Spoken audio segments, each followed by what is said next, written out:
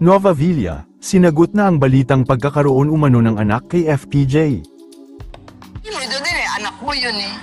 Si Novelite Villanueva Gallegos o mas kilala sa mundo ng showbiz bilang Nova Villa, ay ipinanganak noong April 16, 1946, sumikat si Nova Villa matapos siyang madiscover ng yumaong action king na si Fernando Poe Jr. Nakita ng action king si Nova Villa nang minsang sumama ito sa kanyang kapitbahay na si Chichay, na isa ring veteran comedian sa compound ng Premier Productions noong 1965. Sumilip nga si Nova Villa sa compound ng nasabing production company, hanggang sa may biglang pumaroda na isang Cadillac na sasakyan sa kanyang harapan, nagkatitigan umano sila ng driver nito. Pag-amin ni Nova, nagwapuhan siya sa nagmamaneho ng nasabing magarang sasakyan, hanggang sa napag-alaman niya na ang nagdadrive pala ng nasabing sasakyan ay walang iba kundi si FPJ. Naaga naman ni Nova Villa ang atensyon ng Action King lalo pat napakaganda niya dahil may lahi siyang German, hanggang kinuha nga siya para maging parte ng pelikula ni FPJ, na Cowboy 2. Una nga nagsimula ang kanyang karera sa showbiz.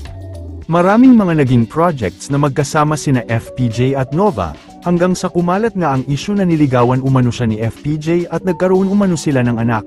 Makalipas ang mahabang taon, sinagot na rin sa wakas ni Nova Villa ang isyu, sa interview sa kanya ng showbiz writer at vlogger na si Morley Alinio, nito lamang April 2, natanong si Nova kung totoo bang may anak sila ni FPJ, pagtatanong pa ni Morley, Tita Nova, tanong ko lang, Tutal matagal na rin itong pinag-usapan, nagkaroon daw kayo ng anak ni FPJ.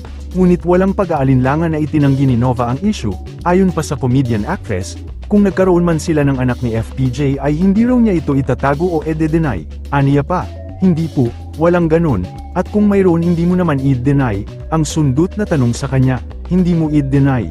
Anak mo yun eh, wala namang nangyari, ayaw na rin umano niya pahabain pa ang issue lalo pat wala na raw ang tinaguri ang Action King.